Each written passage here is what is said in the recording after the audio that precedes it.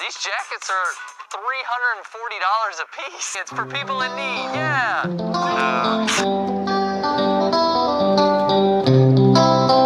Uh.